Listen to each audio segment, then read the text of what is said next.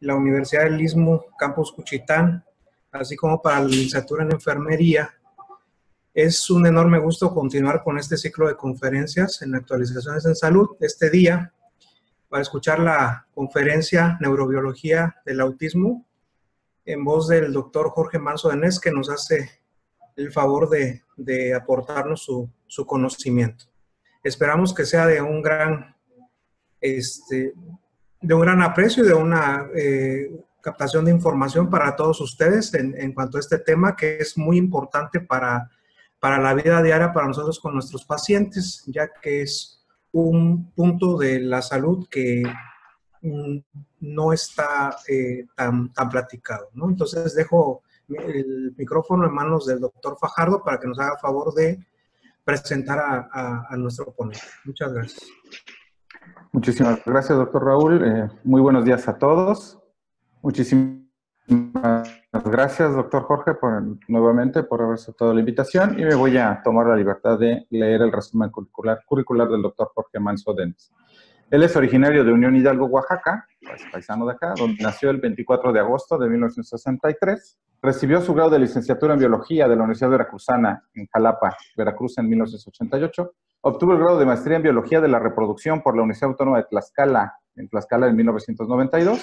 El grado de Doctor en Ciencias Fisiológicas por la Universidad Nacional Autónoma de México, Ciudad de México, en 1996. Realizó como estudiante estancias de investigación en la Universidad de Rutgers, en Newark, en New Jersey, Estados Unidos, y en la Universidad de Connecticut, en Stores, en Estados Unidos. Y como investigador en la Universidad de Concordia, en Montreal, Canadá, y en la Universidad Yum de Castellón, España. A la fecha es investigador titular C de tiempo completo, adscrito al Instituto de Investigaciones Cerebrales de la Universidad de Veracruzana, del que fue promotor para su creación y su primer director.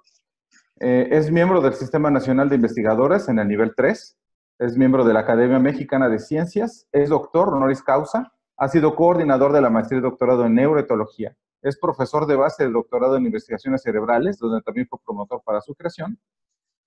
Fue coordinador en la Secretaría Académica de la Universidad Veracruzana y ha sido evaluador de artículos para publicación en revistas internacionales, así como de proyectos de investigación en el CONACYT. Su producción académica pues, es enorme, pero comprende diversas publicaciones internacionales y nacionales, dirección de tesis de licenciatura, maestría y doctorado, así como participaciones en diversos congresos nacionales e internacionales.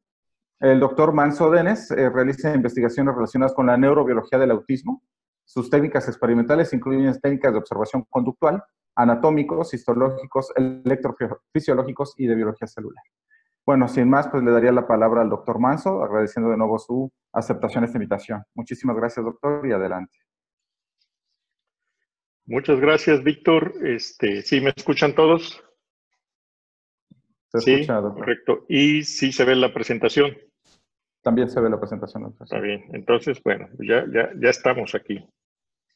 Bueno, pues este, eh, muchas gracias por la invitación. Es un enorme gusto porque como, como leyó Víctor ahí en mi, en mi currículum, eh, pues yo soy de allá, no de Juchitán, pero ahí vecino de Unión Hidalgo. Este, de, de, de, de, ahí salí y ahí voy frecuentemente. Este año ya no fui por, por cuestiones de pandemia, pero este, pues mi familia sigue viviendo por allá y pues por allá estamos de manera constante en esa, en esa, en esa región del, del istmo de Tehuantepec y pues como todos ustedes, o la mayoría de ustedes, no sé cuántos, pero pues soy paisano también, ¿no? Este, y, y entonces me da mucho gusto estar aquí eh, eh, de manera virtual, por supuesto que si las condiciones lo hubieran permitido, estuviera yo allá presencialmente con ustedes, pero seguramente se dará la, la situación próximamente.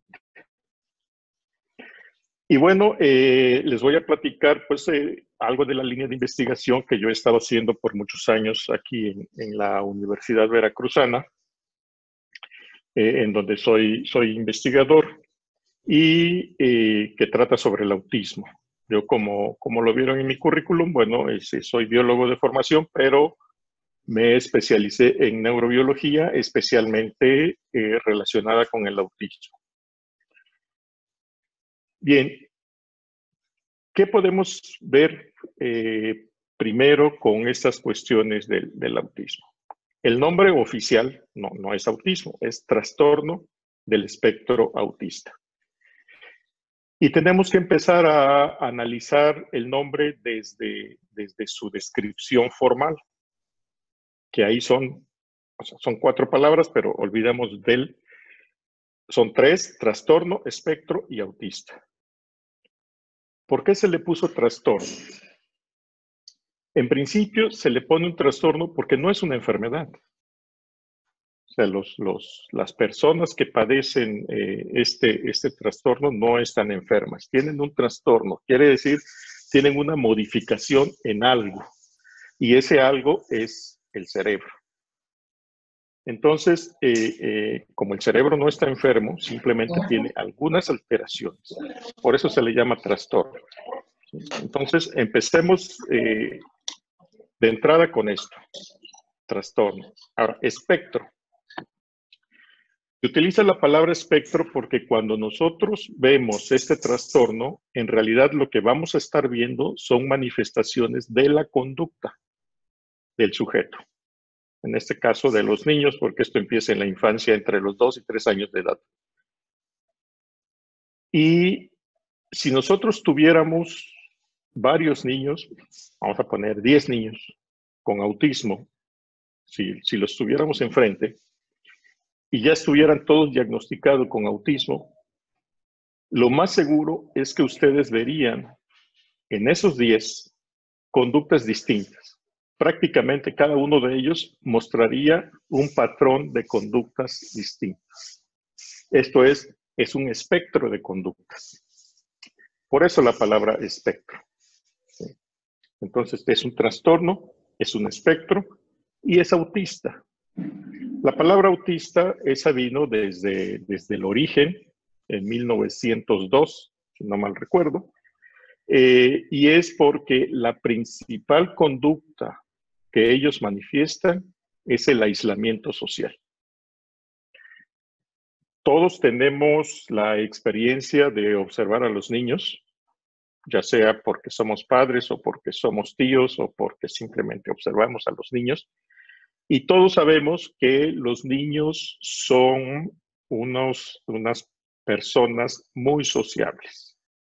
Si nosotros llevamos a un niño a un lugar donde haya niños, aunque no se conozcan, inmediatamente empiezan a socializar, a jugar entre ellos, a platicar. Eh, y el autista no. El autista es aislado, se aleja del, grupo social. A eso se le llama autismo, al aislamiento social. Entonces, entramos en esta definición. Se le llama trastorno del espectro autista porque es una alteración, no es una enfermedad. Perdón, alguien. Bueno, eso es otra cosa. Si alguien quiere preguntar en cualquier momento, con, toda confianza. ¿eh? Este, se le llama trastorno porque no es una enfermedad, es una alteración. Espectro porque son muchas conductas. Vamos a tener un gran espectro, un abanico de conductas. Y autista porque es el aislamiento social. Ahora, ¿cuál es el común denominador de todos estos niños? Ya les mencioné que este trastorno se empieza a manifestar entre los dos y los tres años de edad.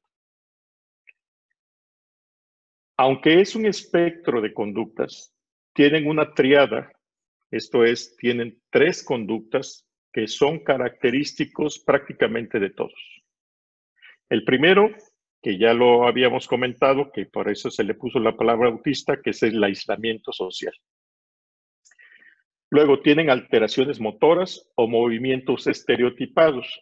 ¿Qué quiere decir esto? Que un movimiento lo repiten muchas veces. Eh, pueden balancearse y estar constantemente así. Ese es un movimiento estereotipado. Pueden mover las manos, o pueden hacer cualquier movimiento de manera repetida que, eh, que ya uno ve que no es un movimiento que esté dentro de los parámetros típicos. Eh, por ejemplo, rebotar un balón. Un niño agarraría una pelota, la rebota y a los pocos segundos la patea y corre tras de ella. Un niño con autismo puede estar rebotando el balón por mucho tiempo. Y esto ya no es una conducta típica, es una conducta alterada. Ese es un movimiento estereotipado. Y el otro son las alteraciones del lenguaje. Esto es, eh, tienen problemas de comunicación verbal.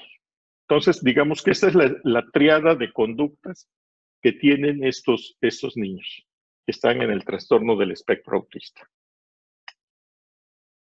Sin embargo, estas conductas en muchos casos no vienen solas. Aquí en esta figura que pueden ver ustedes aquí, en el círculo azul que está ahí en medio, este, sí, ¿sí ven el cursor, el puntero? Bueno, en, en, este, en este círculo azul, aquí está la triada, aislamiento social, alteraciones motoras, alteraciones del lenguaje. Esa es la triada del autismo. Pero vienen lo que se le llaman las comorbilidades, esto es, alteraciones que acompañan a esa triada. Por ejemplo, el, del 40 al 84% de estos niños presentan ansiedad. Del 40 al 80% presenta déficit de atención e hiperactividad.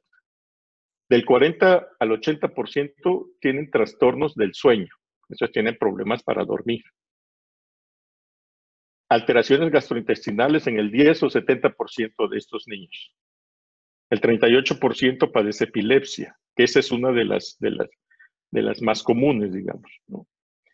Y el 17% las conductas obsesivas compulsivas. Digamos que esta, esta gráfica de círculos, el círculo, lo que nos representa, el tamaño del círculo nos representa qué es lo que con más frecuencia puede tener un niño con autismo. ¿sí? Esto es el autismo. Y, aquí el espectro se abre todavía más. Esto es, pueden haber unos niños con el trastorno nada más de la triada, pero algunos niños con el trastorno de la triada más ansiedad, o algunos con el trastorno de la triada más alteraciones del sueño. Y esto nos va ampliando. Si, ustedes hacen ahí las combinaciones de, ¿Cuántas combinaciones de autismo podemos encontrar nada más con estas comorbilidades? Y son muchísimas. Entonces, por eso regresamos al, al, espectro. Vamos a tener un gran, un gran espectro. Ahora, dentro de este espectro hay una diferencia de género. ¿sí? Ya ustedes habrán escuchado hablar que en el autismo es más común en los niños, el 75% de los casos, se da en niños y el 25% de los casos se da en niñas. Esto es, hay 3 a 4 niños por cada niña. Es más frecuente en el sexo masculino. ¿Cuál es la razón de ello? Bueno, son diversas causas. Todavía no se sabe bien a bien por qué hay una diferencia de género, por qué eh, para los niños es más, es más común mucho se habla sobre algunas implicaciones genéticas en, eh, en el gen Y. Ustedes saben que la diferencia para genética para una niña o un niño son los, los cromosomas. Una niña, el cromosoma sexual es XX, un niño, el cromosoma es XY. Esto es, el, el, el niño tiene un cromosoma que se llama Y, o Y, la niña no. Y este cromosoma es el que puede ser uno de los responsables de que haya una mayor proporción de autismo en los niños. Ahora, ¿qué es lo que pasa? Ya habíamos dicho que eh, hablamos de que es trastorno porque es una alteración en alguna parte del cuerpo, aquí vamos a ver específicamente el trastorno del autismo, es porque son alteraciones en el cerebro.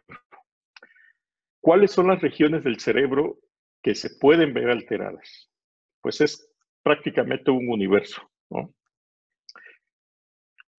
Todas las partes de la corteza cerebral, esto es esta parte arrugada que es la parte eh, eh, más superficial, la corteza frontal, que es esta que vemos aquí, la corteza parietal, que es la que vemos acá, la corteza occipital, que es la que vemos aquí en esta, en esta zona de atrás.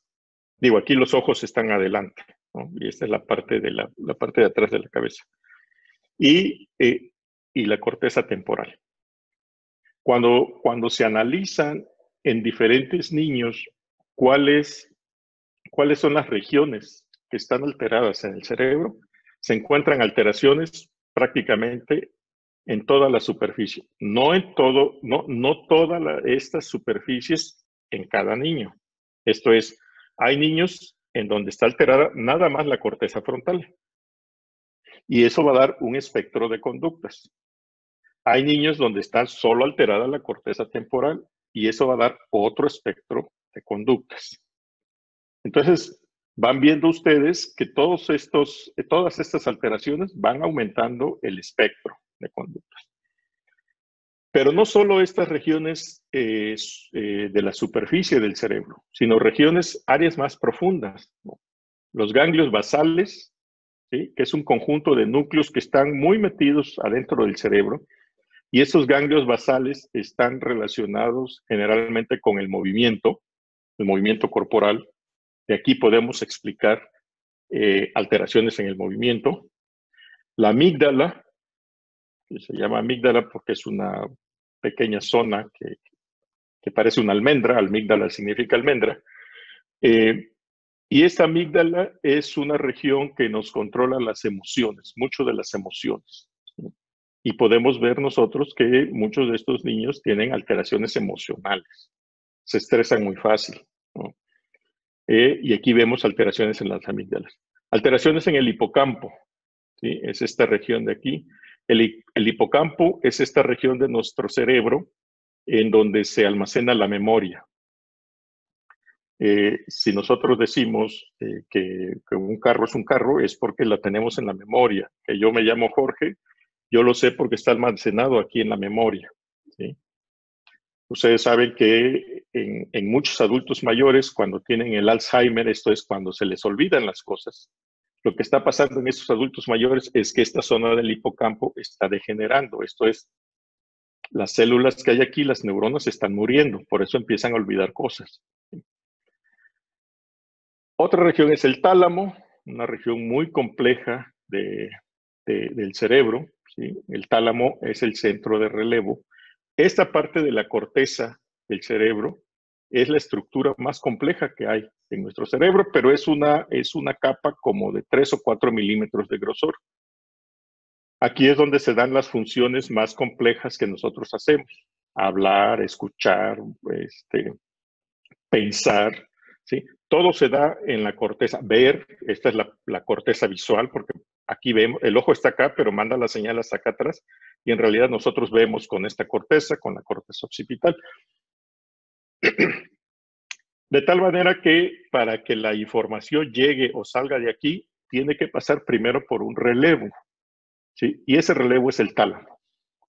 Nada sube a la corteza si no pasa por el tálamo y el tálamo es como, como el que controla la subida y la bajada de información. ¿sí? No cualquier información va a llegar a la corteza.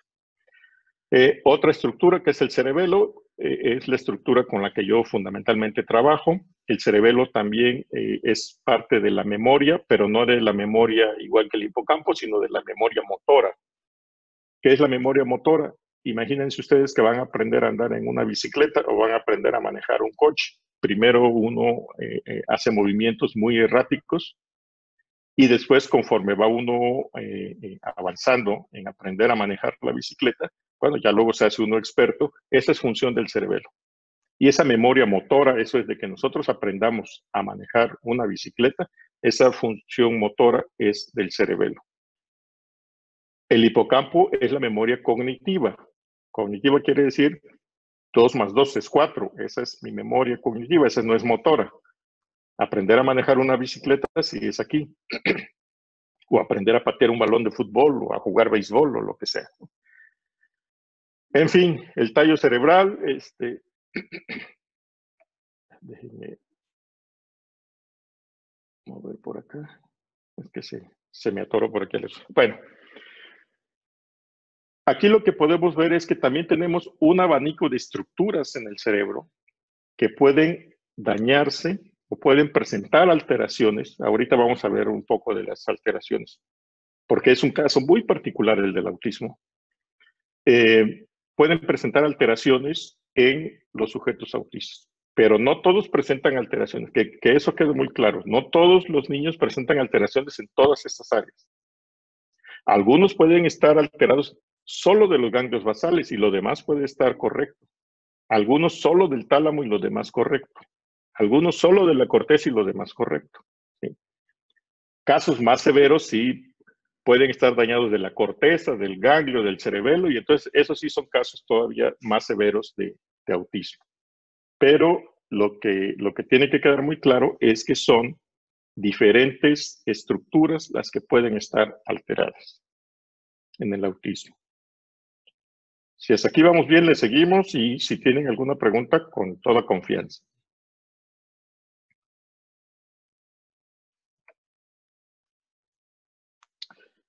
Muy bien. ¿Qué se ha empezado a estudiar o qué se ha estudiado ya con todas estas regiones? Bueno, eh, regresamos a la triada, aislamiento social, problemas en la comunicación y alteraciones de movimiento o movimiento repetido. ¿Qué áreas del cerebro nos llevan a cada una de estas conductas? Bueno, ahora ya sabemos, ¿sí? Si, empieza a haber ya un mapa del cerebro, un mapa de autismo, digamos, en el cerebro. ¿sí? Y por ejemplo, si el niño tiene aislamiento social, ¿sí? ya sabemos que están alteradas estas regiones que están pintadas de color azul. La corteza frontal, eh, la, corteza del cíngulo, la corteza parietal, en fin. Si tiene problemas de comunicación, el tallo cerebral, el cerebelo, que está, está por acá, los ganglios basales. Si tiene problemas de conductas repetidas, los ganglios basales, la corteza frontal, la corteza del cíngulo, que es esta. En fin, vaya, lo que, lo que les tiene que quedar claro es que eh, depende de la conducta alterada, va a ser el área del cerebro que está alterada, que era lo que les venía yo este, comentando desde hace un momento. ¿sí? No es que todo el cerebro esté alterado, son regiones y estas regiones son dependiendo de la conducta que está mostrando el niño. Ahora, aquí empieza la parte interesante. Cuando, cuando se empezó a ver esto del, cerebro del niño, eh, se, empezó a, se empezó a observar una característica que es propia del autismo. Y es los cerebros están más grandes. Entonces, fíjense, vamos a ver esta gráfica de aquí arriba. Esta gráfica lo que mide es el tamaño del cerebro total. En esta, en la gráfica, vamos a, ver una diferencia en porcentaje. Es un número X, no le hagan caso, nada más que si va para arriba es más grande, si va para abajo es más chico. Esta línea punteada que está aquí, ese es el tamaño de un cerebro típico. Esto es, ese es el tamaño del cerebro que no tiene autismo, que es un cerebro que está en desarrollo normal. Lo que nos dice el eje de las X es la edad. El cero es recién nacido, 5 años, 10 años, 15, 20, 25, 30, 35 años de edad del sujeto. Ok. Estos puntos fueron los diferentes niños con autismo que se analizaron. Esta línea continua es el promedio de todos los niños. Entonces, ahorita no le hagan caso a los, puntos de colores, háganle caso a esta línea que es el promedio de todos los niños. Entonces, un niño nacido que tiene aquí entre dos años y medio y los cinco años, que es en donde se empieza a manifestar el autismo, ese es el tamaño de su cerebro. Con respecto a un niño típico. ¿Qué nos está diciendo esta gráfica? Que cuando menos hay un 5%, más del 5% de diferencia en donde el niño con autismo tiene un cerebro más grande que un niño de desarrollo típico. Ahí hay, una, ahí, hay un hallazgo este, bastante interesante. Conforme va aumentando la edad, este tamaño del cerebro va disminuyendo y prácticamente entre los 30 y los 35 días de edad, este cerebro con autismo alcanza más o menos el tamaño de un cerebro de desarrollo típico o normal. 35 años, es un montón de tiempo. Mucho tiempo en lo que este cerebro permanece muy grande. Ahorita vamos a ver, vamos a tratar de ver cómo se explica esto. Cuando nosotros hacemos la división una, división así macro del cerebro, que lo cortamos y lo vemos al, al, microscopio, en este caso en una, en una tomografía, se ven dos regiones, una región que se le llama región gris porque se ve gris y otra región que se le llama blanca porque pues, se ve blanca. No, no, no hay mayor problema. El total del cerebro es este. Ahora, el total nada más de la sustancia gris, de la región gris, que es esta que está aquí en color verde, ocurre exactamente lo mismo. La única diferencia es que la región gris nunca llega, nunca empieza a bajar, ¿sí? pero en esta está hasta casi los 20 años, y hasta los 20 años nunca llega al nivel del cerebro típico la región o la sustancia gris es la que permanece todavía elevada. Ahora, la sustancia blanca. Si nosotros vemos la sustancia blanca, la sustancia blanca sí es la que cae rápidamente, rápidamente digamos, hasta los 12 años, después de los 12 años, 15 eh, años, es que baja y llega al nivel normal. Eso es que si nosotros regresamos al cerebro total, esta caída está dada más por la sustancia blanca que por la sustancia gris. ¿Qué es la sustancia gris?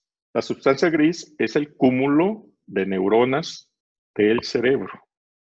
La sustancia blanca son los, las prolongaciones. Ahorita vamos a ver, seguramente ustedes ya conocen una neurona y sus prolongaciones. Y, los cuerpos de las neuronas son los que constituyen la sustancia gris y las prolongaciones son los que constituyen la sustancia blanca. ¿Qué nos dice esta gráfica? Lo que nos dice es, uno, el cerebro es más grande, dos, es más grande por la sustancia gris y por lo tanto es más grande por las neuronas. Eso manténganlo en la memoria a corto plazo. Ok. Ya nos dice que tenemos un cerebro grande, esta gráfica, de los niños con, autismo. Ahora, ¿por qué se tiene un cerebro grande? ¿O por qué, por qué tenemos ese trastorno desde el punto de vista de las alteraciones, de, los, eh, de las causas? ¿Qué es lo que causa el autismo? Hay dos causas o hay dos grandes clasificaciones. Uno es la genética. Como ustedes saben, nosotros tenemos 46 cromosomas. Esto es 23 pares. Estos son los cromosomas humanos. Del 1 al 22, que son los cromosomas somáticos, y los otros dos que son los cromosomas sexuales. Aquí se pinta uno nada más, pero en realidad tenemos dos número uno, dos número dos, dos número tres, hasta el 22 tenemos dos 22, por eso aquí son 44. Y si tenemos 1X, 1Y, por eso son 45 y 46. Tenemos 46 cromosomas. En el, los cromosomas sexuales, ustedes saben, la, mujer o el sexo femenino en mamíferos tiene 2X, XX, eso es una mujer, y XY es un hombre. Acuérdense que les decía yo a ustedes que está el Y, que probablemente por este cromosoma, que solo está en los hombres, pudiera estar la explicación de por qué el autismo es mayor en los hombres que en las mujeres. Ok. Los cromosomas, todos estos cromosomas, un cromosoma es una secuencia de muchos genes. Digamos que aquí esta banda blanca es un gen, esta gris es otro gen, esta blanca es otro gen, esta gris es otro gen y así. Cada rayita que está en un cromosoma es un gen. Entonces, lo que, lo que ustedes tienen que, ver es que un cromosoma es una aglomeración de muchos genes. Entonces, el cromosoma 1 tiene unos genes, el cromosoma 2 tiene otros genes y así. Cada gen es el instructivo para alguna de las características de nuestro cuerpo. Eh, aquí está nuestro instructivo. Algunos dicen, tú vas a tener el pelo lacio, tú vas a tener los, eh, los ojos verdes, tú vas a medir 1,80 de estatura o vas a medir 1,60 de estatura. En estos, en cada uno de estos genes están, es nuestro instructivo para, para hacer nuestro cuerpo. Y miren ustedes, en estas bolitas rojas y verdes, no, no vamos a ver las diferencias entre las rojas y verdes, pero en donde está cada bolita, se ha encontrado un gen cuya alteración produce autismo. Entonces, aquí podemos ver que el espectro es prácticamente infinito, el espectro de autismo. ¿Por qué? Porque si un niño está mutado de aquí, del, del 1, va a ser autista. Y va a tener, va a estar en una parte del espectro. Pero otro niño que esté mutado de este lado, también va a ser autista, pero va a tener otro espectro.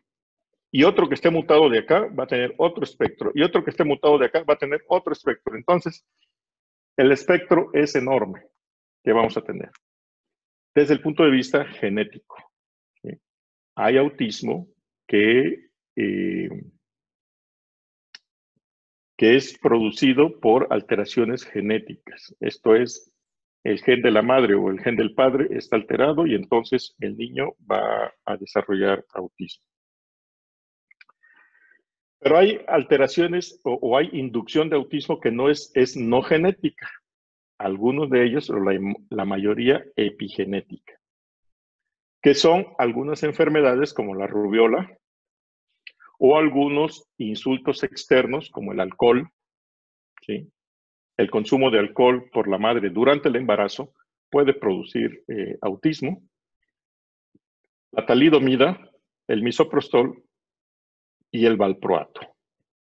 Yo les pongo aquí en amarillo el valproato porque el valproato es una eh, es un fármaco, una medicina, un medicamento antiepiléptico. Este medicamento antiepiléptico en la década de los 50 del siglo pasado, eh, eh, a las mujeres con epilepsia que se embarazaban, les daban valproato durante el embarazo. Una, mujer embarazada y epiléptica, si durante el embarazo tiene una crisis de epilepsia, lo más seguro es que aborte. Entonces los médicos en aquel entonces dijeron, les damos valproato durante el embarazo, no van a tener crisis epiléptica y van a tener a sus hijos. Lo cual tuvieron éxito en eso. Lo que no, con lo que no contaron es que los hijos nacían con autismo. Entonces se dejó de dar el valproato.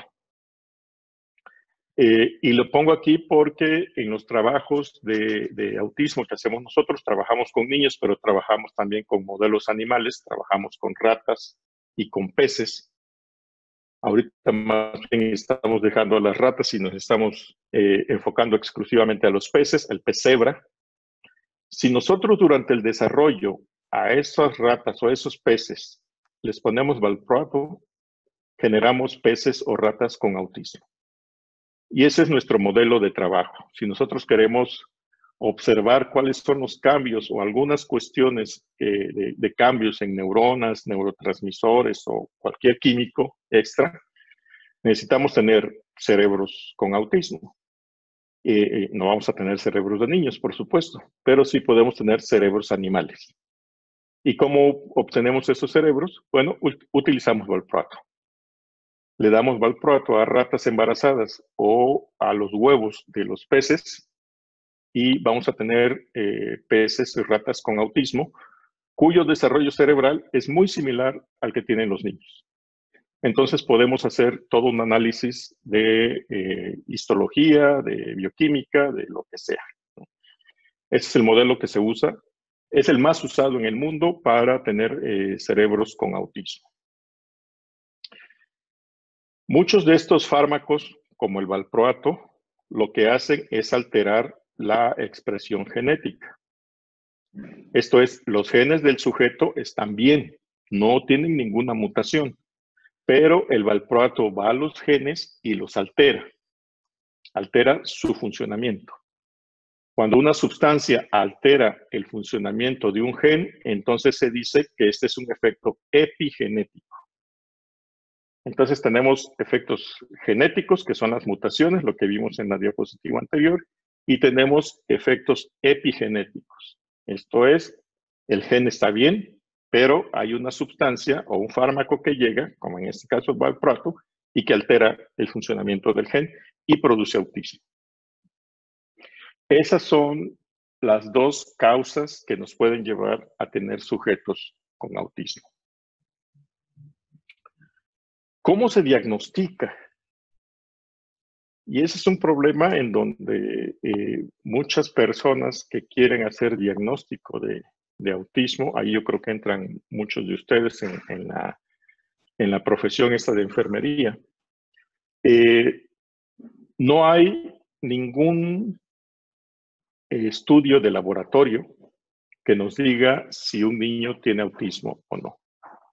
Eso es hacerle un encefalograma, hacerle una tomografía, a sacarle sangre o saliva o, y llevarla a un laboratorio y que le haga un análisis para ver si tiene autismo, no funciona. No se puede detectar el autismo de esa manera. ¿Cómo se detecta el autismo? Se detecta mediante la observación conductual del niño. Esto es, el, terapeuta, el que va a diagnosticar el autismo, necesita saber observar la conducta de los niños. A la observación de la conducta se le llama etología. Necesitamos conocer etología de los niños.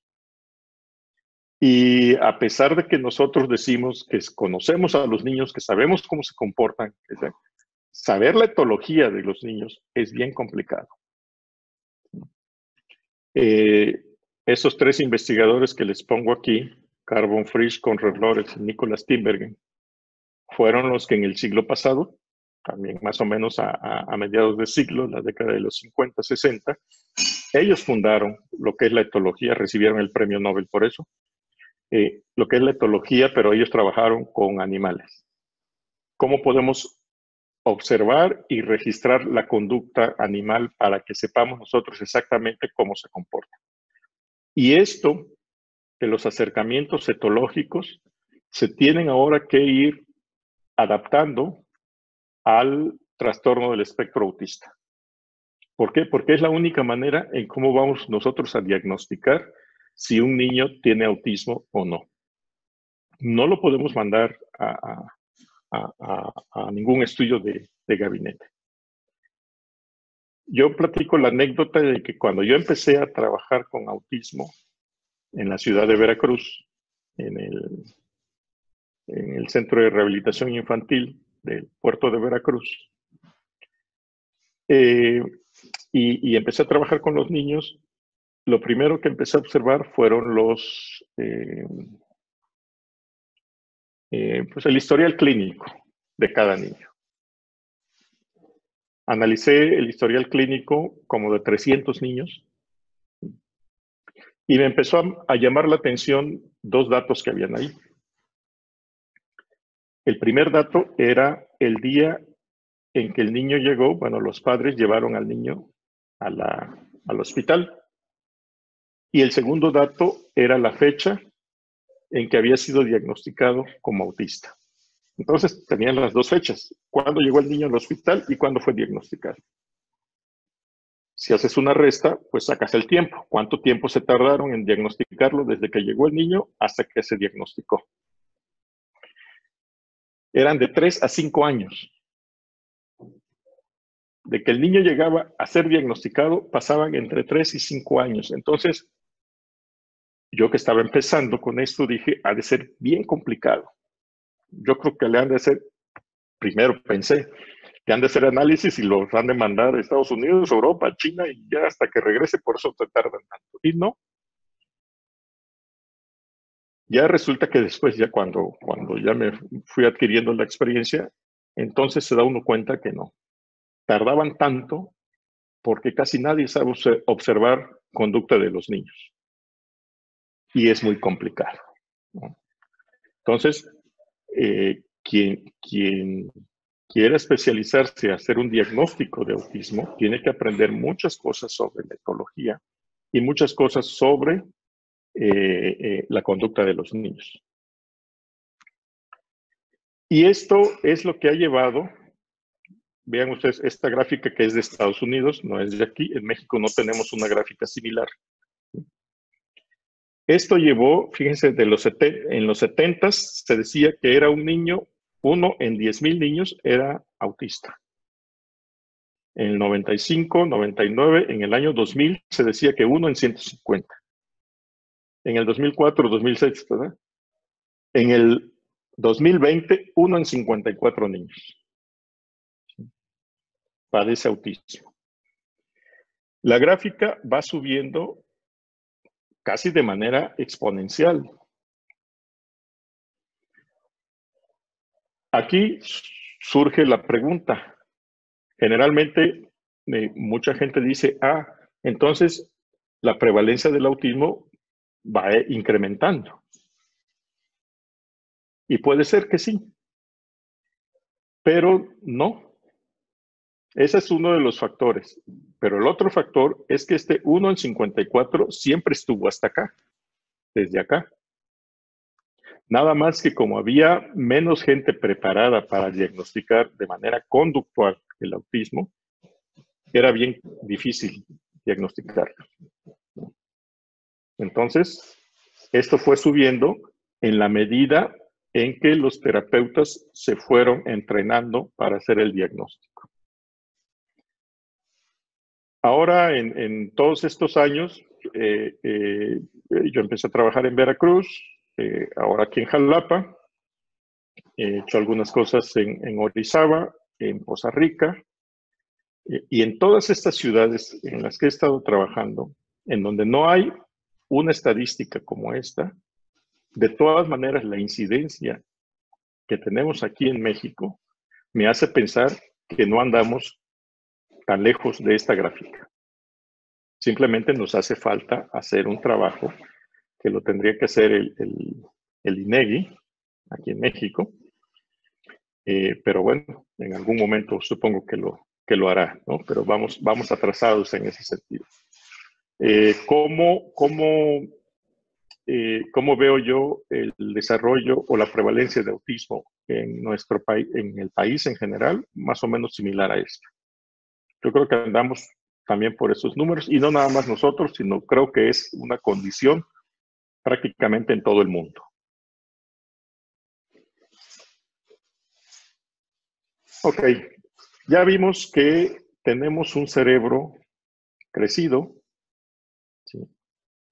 y que el cerebro está compuesto por una eh, célula muy particular que es la neurona. Es esta, esta célula, esta es una caricatura de una neurona, en donde esta neurona tiene su cuerpo celular, tiene una prolongación larga, que es el axón, y unas terminales de su axón. Con esas terminales se comunica con otra neurona.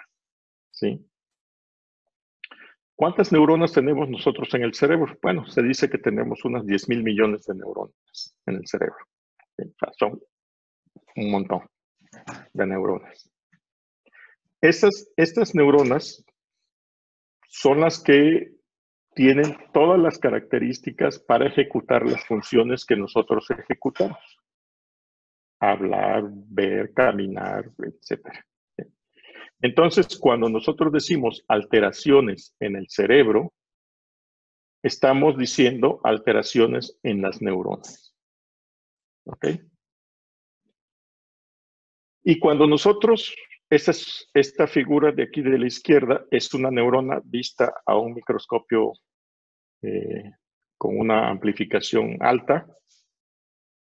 Eh, eh, no necesariamente tiene que ser un microscopio electrónico, pero si nosotros vemos a las neuronas y vemos estos, si nosotros vemos el soma y vemos estas prolongaciones, que son las dendritas,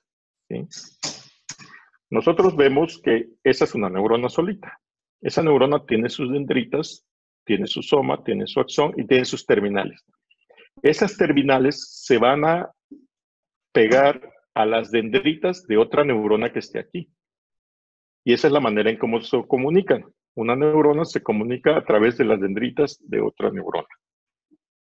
Si nosotros vemos aquí en esta figura, esas son las dendritas de esta neurona, si nosotros las amplificamos, las dendritas tienen estas prolongaciones muy pequeñas que se les llaman espinas. Y en esas espinas dendríticas es donde la neurona previa, esta neurona previa, se va a conectar. Aquí se comunica por esas espinas.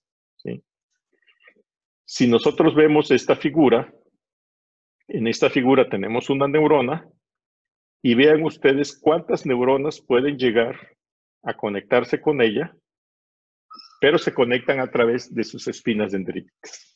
Hasta ahí le vamos a dejar. La comunicación entre las neuronas se da entre la terminal de una neurona y la espina dendrítica de otra neurona. Un dato importante. Si mi neurona tiene muchas espinas dendríticas, voy a poder recibir la información de más neuronas. Si mis neuronas tienen pocas espinas dendríticas, voy a poder recibir información de pocas neuronas. Entre más espinas dendríticas tenga, más comunicación. Si nosotros vemos una neurona de un cerebro típico y una neurona de un cerebro autista, fíjense, ah, no tienen que contar. Fíjense nada más en la foto. ¿Cuál es la diferencia en espinas dendríticas? Resulta que una neurona autista tiene muchas más espinas dendríticas que una neurona típica o normal. Aquí ya tenemos dos cosas. Primero, vimos que el cerebro es más grande. Segundo, vimos que es más grande porque la sustancia gris, esto es donde están las neuronas, es más grande. Y no nada más las neuronas, sino que si nos vamos al interior de las neuronas, resulta que las neuronas eh, autistas tienen más espinas dendríticas. O sea, tienen más cosas. Y entonces pasa esto. Fíjense en esta gráfica. Esta es una gráfica desde el nacimiento, este es el nacimiento, esto moradito es la etapa de, de niño, esta es la adolescencia, el que está en verde, y esta es la adultez, lo que está aquí en azul. Esta es la formación de espinas dendríticas. La negra, esta negra, es el desarrollo normal. Fíjense, bueno, este es el embarazo, empiezan a formarse las espinas dendríticas, cuando somos niños se forman, se dejan ya de formar cuando somos, empezamos, entramos a la etapa de la adolescencia y empiezan a bajar hasta la etapa adulta, y ese es el desarrollo normal. Si nosotros vemos en un eh, sujeto con esquizofrenia, que es el verde, ¿sí? sigue lo mismo y va bajando, va bajando, va bajando y se queda hasta acá. Si lo vemos en una persona, esta azul, que tiene Alzheimer, va subiendo, va subiendo, va bajando, va bajando, va bajando. Y si vemos a un cerebro autista, fíjense, va subiendo, va subiendo, va subiendo, va subiendo, va bajando, va bajando, va bajando. Pero, ¿qué es lo que se nota aquí?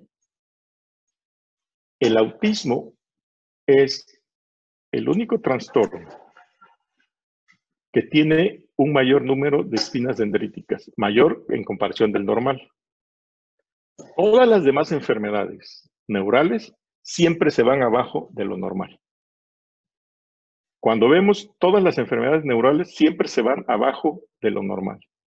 El autismo se va para arriba. ¿Qué es lo que está pasando aquí? Bueno, ya se han encontrado algunas explicaciones. Aquí vemos el desarrollo del cerebro en el estado fetal. Esto es, cuando la mamá está embarazada, esto es lo que pasa a los 25 días, 100 días, 7 meses y a los 9 meses ya prácticamente para el nacimiento. ¿Qué es lo que está pasando aquí? En el embarazo. Se están formando las neuronas de este niño. Las neuronas, la tasa de formación de neuronas es altísima. Se forman casi aproximadamente 250 mil neuronas por minuto.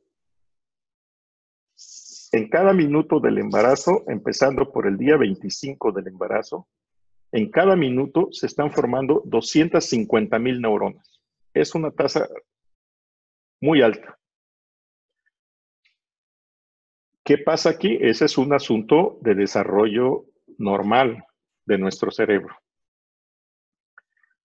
Vamos a suponer, para, no dar números muy altos, vamos a suponer que nosotros nacemos con mil neuronas. Ya, ese es nuestro número. ¿sí?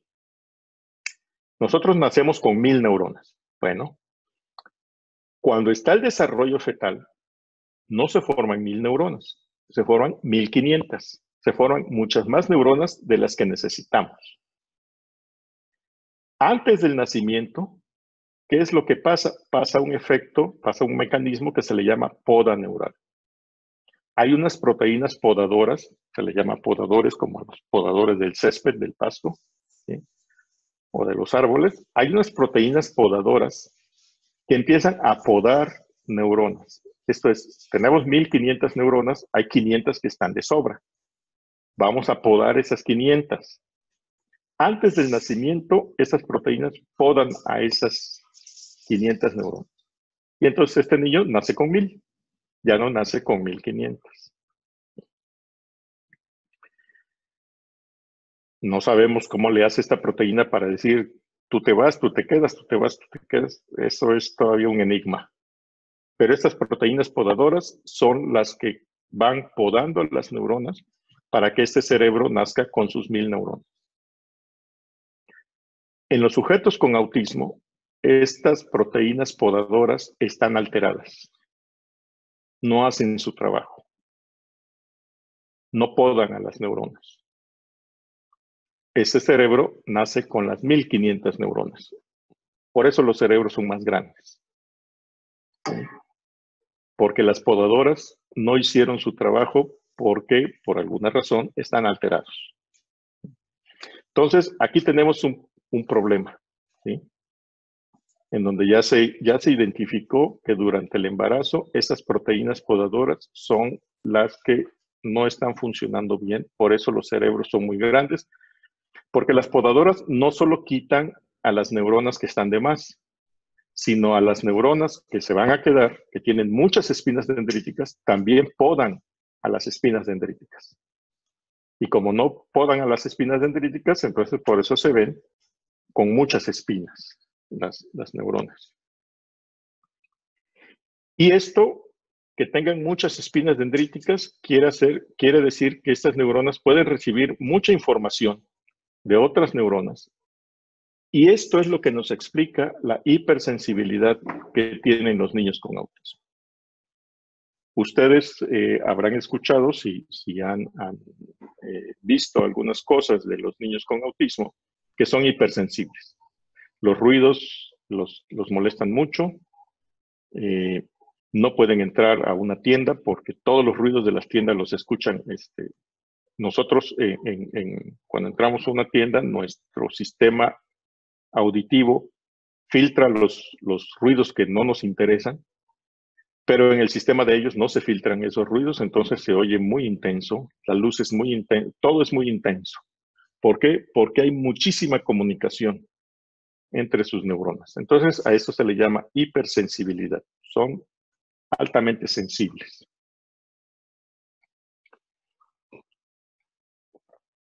Eh, ahí me dicen ustedes también del tiempo, ¿eh? porque si no, aquí me sigo. ahí vamos ya. Ya vamos por la recta final. Ok, ¿cuáles son las realidades que nos dice toda esta neurobiología del autismo? Uno, el cerebro tiene un mayor número de neuronas. No hubo una poda neural, hay muchas, mucho número de neuronas. Las neuronas tienen un mayor número de espinas dendríticas. Tampoco hubo poda en sus espinas dendríticas. Las espinas dendríticas permiten un mayor número de sinapsis. Esto es lo, que nos lleva a la hipersensibilidad. En resumen, lo que pongo aquí en el punto número 4, no hace falta nada. No es como las otras enfermedades en donde sí hace falta, hacen falta neuronas, hacen falta espinas dendríticas. En el autismo no hace falta nada, al contrario, sobra. Y ese es un problema. Es un problema que falte y es un problema también que sobre. El autismo nos está enseñando que es un problema también que sobre. Ahora, la pregunta es, ¿qué podemos hacer?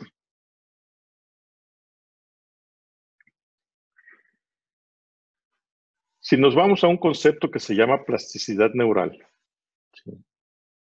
en esa plasticidad neural nosotros vemos que si tenemos a unos sujetos viviendo en ambientes simples, esto por supuesto que se hace en, ratas o en modelos animales, si nosotros ponemos a sujetos a vivir en ambientes simples y luego analizamos a sus neuronas, vemos que sus neuronas son así. Si nosotros ponemos a los sujetos a vivir en un ambiente enriquecido, esto es, le ponemos juegos, túneles, olores, tactos, etcétera, un ambiente enriquecido, vemos que sus neuronas se ponen así. No les tengo que hacer ninguna descripción, nada más vean las diferencias. Y se ven las diferencias, se ven marcadas las diferencias. Esto es, y a esto se le llama plasticidad neural. Son las mismas neuronas, nada más que cuando nosotros metemos un ambiente enriquecido, esta neurona se adapta mucho mejor y por lo tanto estos sujetos tienen la capacidad de hacer más cosas. A esto se le llama plasticidad neural. Eh, eso es algo que nosotros, eso también yo lo he comentado en nuestras escuelas. Nosotros deberíamos de estimular a los niños en ambientes enriquecidos. ¿Y qué hacemos en las escuelas? Los metemos a un salón les decimos que se sienten y que no se muevan y que pongan atención. No estimulamos el ambiente enriquecido, estamos haciendo las cosas al revés. Necesitamos estimular ambientes enriquecidos para promover esta plasticidad neural. Si nosotros estimulamos la plasticidad neural, el sujeto va a poder hacer más cosas, va a tener mayores habilidades de hacer cosas. Y esto que se ve en una rata, también se ve en los humanos, en el cerebro humano. Entonces la pregunta que nos hicimos es, ¿será posible estimular la plasticidad neural en niños con autismo utilizando un ambiente enriquecido? Si al niño con autismo no le hace falta nada, si tiene todas sus neuronas, es más, tiene neuronas de más, tiene espinas dendríticas de más, tiene sinapsis de más, podemos utilizar todo eso que tiene para hacer una plasticidad neural utilizando ambientes enriquecidos? Esa fue la primera pregunta que nosotros nos hicimos.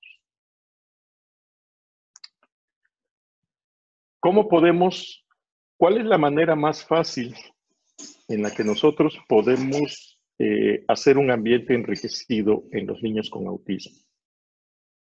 Bueno, en los niños en general. La mejor manera, y, en los adultos, la mejor manera de hacer un ambiente enriquecido es ponerlos a mover. Eso ya lo sabemos.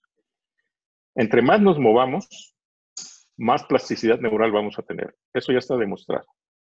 Esto es, si nosotros ahorita, si ustedes ahorita como estudiantes de enfermería eh, entran a un régimen de ejercicios constantes,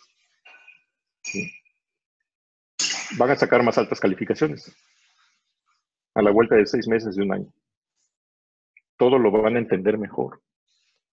Y van a decir, ¿cómo le hice? No, no, ¿cómo le hiciste? estás, estás haciendo un proceso de plasticidad neural en tu cerebro.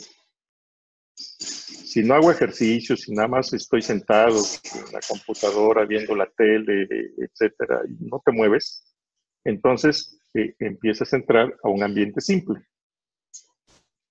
Y por supuesto que las cuestiones cognitivas, que es como el ir a la universidad, pues te complican más. Entonces, bueno, esto, esto ya lo sabemos.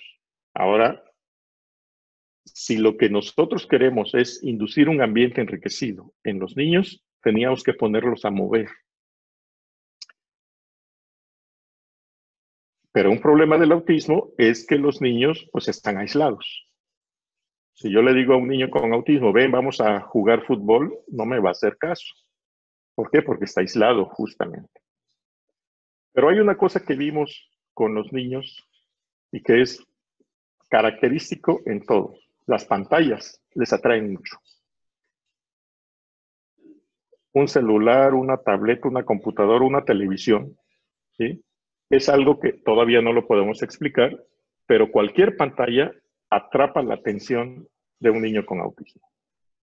Entonces, ¿qué fue lo que hicimos nosotros? Fue utilizar una pantalla y utilizar este dispositivo, que es el Wii, un juego, un videojuego, y utilizamos el programa de deportes, el Wii Sports. ¿Y qué fue lo que hicimos? Bueno, lo que hicimos fue decirle al poner al avatar, ustedes saben que sale un monito de estos en la pantalla, y este monito te puede enseñar a jugar y juega contigo y te dice muévete a la izquierda, muévete a la derecha, hazle aquí, hazle acá. Nosotros solo controlábamos al avatar, nosotros no le dijimos nada al niño. El niño tenía que hacerle caso a la pantalla y seguir las instrucciones del avatar. No nuestra, porque no iba a seguir nuestras instrucciones, pero al avatar sí le hacía caso. Eso lo hicimos, este es el Centro de Rehabilitación Infantil de la ciudad de Veracruz. Eh, esos son los estudiantes de doctorado con el que empecé a hacer estos, estos trabajos. Y ese fue el resultado. Estuvimos trabajando eh, tres años con esos niños. ¿Qué fue lo que, lo, que, lo que hicimos? Fue ponerlos a jugar, ponerlos en el Wii con el, con el avatar eh, dos veces por semana, 20 minutos cada uno. Lo hacíamos lunes y jueves. El niño entraba los lunes, 20 minutos, los jueves, 20 minutos, exclusivamente. Eh, y esas eran las pruebas. Esa es la, primera semana, es de, las, las, dos pruebas de lunes y jueves, y así nos íbamos. Lo primero que le pusimos a hacer a los niños era a que copiaran los movimientos del avatar en la pantalla. Entonces nosotros lo que hacíamos es que poníamos al avatar y el avatar decía, muévete para acá, muévete para allá, hazte para adelante, hazte para atrás, hazte para allá. Y se lo pusimos y aquí empezamos a ver la primera diferencia. Fíjense, las líneas continuas son las niñas, las líneas punteadas son los niños. Cuando empezamos con este grupo de niños a, ponerlos con el avatar, miren las niñas, ¡pum! El 100% de las niñas prácticamente en la tercera semana ya seguían todos los movimientos de la niña. Los niños fueron más lentos. Hasta la décima fue que ya todos los niños, todos los alcanzaron, las niñas y los niños. Las niñas siempre fueron más rápidas que los niños. Y eso nos da a nosotros, eso lo estamos analizando ahora. Hay una diferencia, hay un aprendizaje, sí pueden aprender, no al mismo, no a la misma velocidad eh, eh, que un niño típico. Cuando nosotros mandamos esto a publicar, nos dijeron, pero lo tienen que comparar con un niño típico. Pero el niño típico que nunca ha usado el Wii, cuando le pones el Wii, en ese mismo día lo, lo domina. Entonces aquí estamos hablando de tres pruebas y aquí de diez. Entonces sí hay una diferencia entre un niño típico y un niño con autismo. Ahora, el asunto es que eh, el asunto es que si aprende. Cuando llegan a este punto, llegan con la misma característica que un niño típico. La velocidad de aprendizaje es la que fue más lenta. Y fue más lenta en niños que en niñas. Las niñas aprenden más rápidos que los niños. Ahora, el Wii se juega con un, con un mando, con un control remoto que tiene dos botones, el botón A y el botón B. El botón A está enfrente, tú lo ves cuando juegas. El botón B está en la parte de atrás porque se juega con este dedo. ¿sí? Este es el botón B, tú no lo ves. Entonces, si ustedes ven aquí las, curvas de aprendizaje, el botón A lo aprendieron muy rápido, tanto las niñas como los niños. Aprendieron a apretarlo, no a usarlo, porque una cosa es que lo apretaran y otra cosa es que lo apretaran para, para el juego que estaba pasando en la pantalla. Y el botón B fue el que les costó mucho trabajo. ¿Por qué? Porque en un principio lo que hacían era que tenían el mando aquí, lo volteaban para ver el botón y apretarlo y luego regresaban. Entonces, en, esa movida, pues ya perdían lo que estaba pasando en la pantalla. Pero lo aprendieron a usar sin estarlo volteando. Y miren ustedes, las niñas y los niños. Las niñas aprendieron entre la sexta y la séptima prueba y los niños hasta la décima. Nuevamente, para esta habilidad, las niñas mostraron un aprendizaje más rápido que los niños. Y con el paso del tiempo,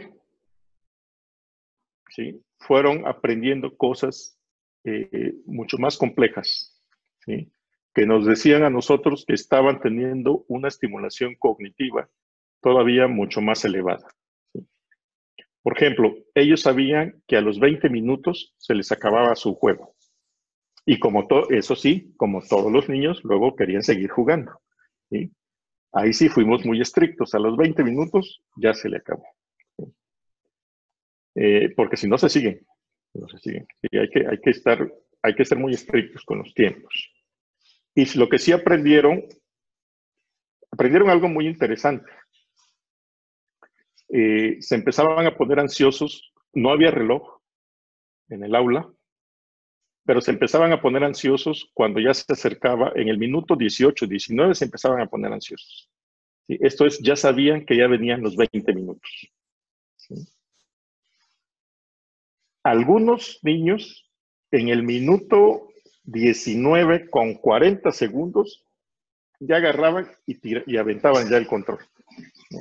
O sea, ya se les acabó el tiempo. Antes de los 20 minutos, 10, 15 segundos antes de que se le acabara su tiempo, ya aventaban el control. Compramos unas carcasas para que no se rompieran. Este, eso no lo puedes evitar.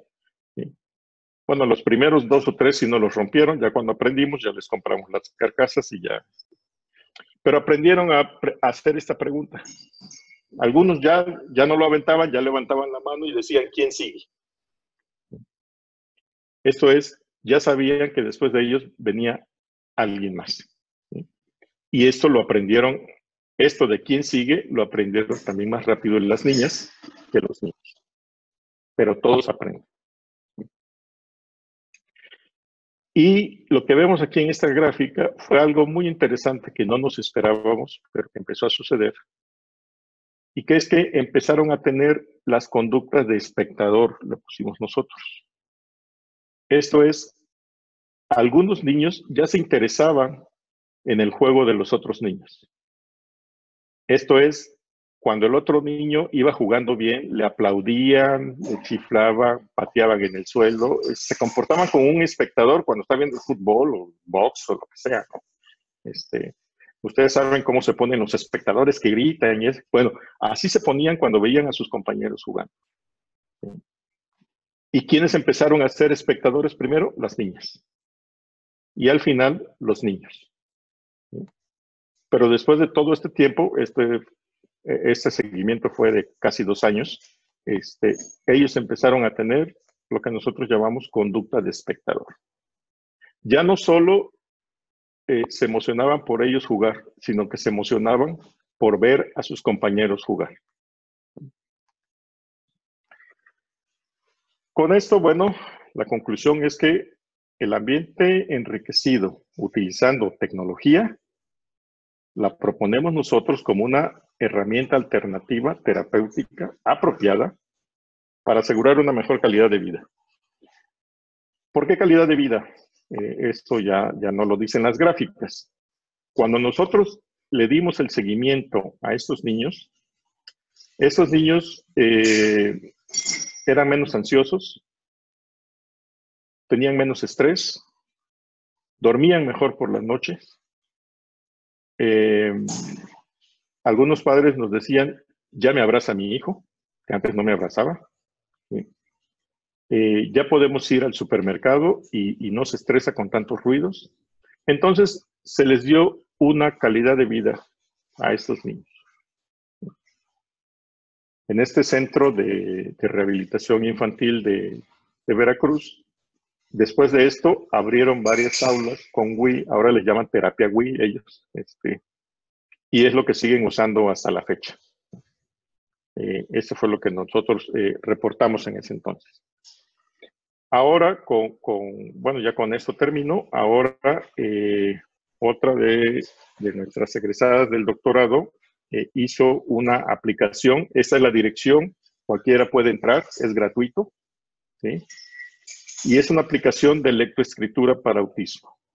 Con esta aplicación pueden enseñarles a leer y escribir a los niños. Está hecha especialmente para los niños con autismo, aunque cualquier niño lo puede, la puede utilizar. Eh, está disponible en esta dirección.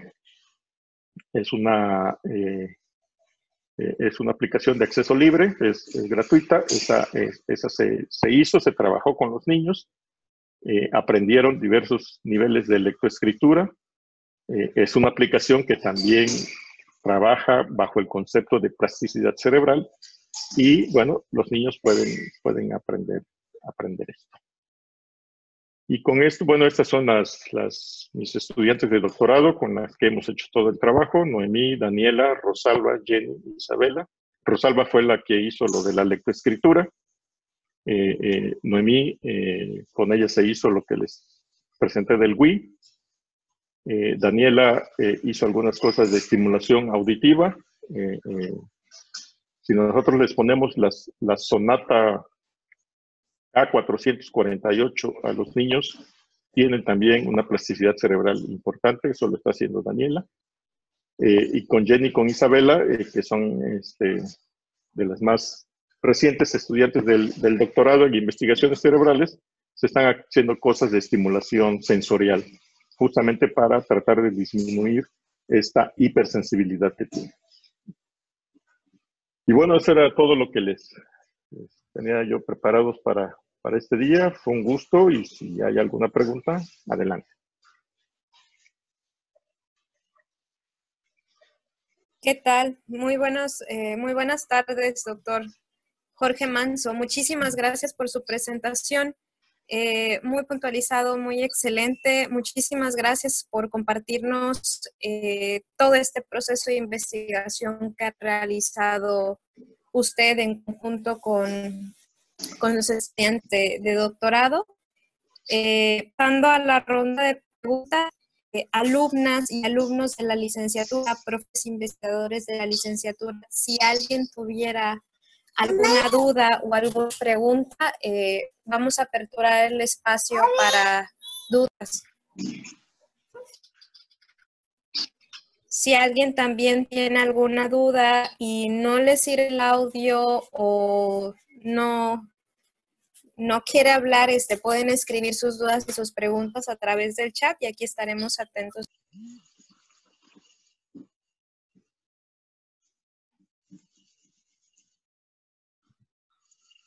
Bueno, en el chat hay una pregunta, me imagino que, bueno, es de algún invitado adicional. Nos pregunta, entonces, eh, me se refiere a la condición.